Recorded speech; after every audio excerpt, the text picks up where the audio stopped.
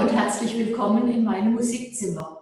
Ich möchte euch heute noch den Hinweis geben, wie ihr Merrily, We Roll Along auch mit Zweierakkorden begleiten könnt. Die Zweierakkorde,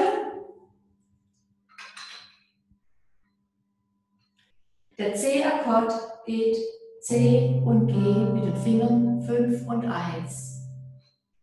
Beim G-Akkord geht der kleine Finger ein Ton tiefer und der Daumen bleibt.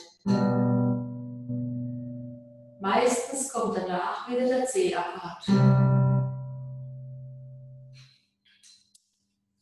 Ihr müsst euch also merken, der Daumen bleibt, der kleine Finger wechselt zwischen dem H und dem C.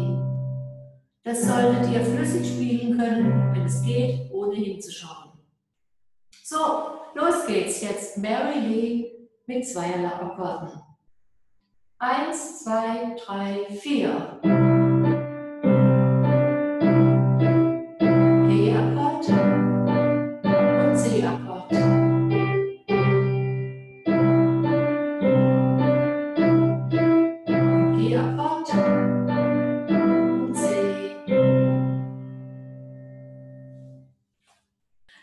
Marilyn mit Zweierakkorden.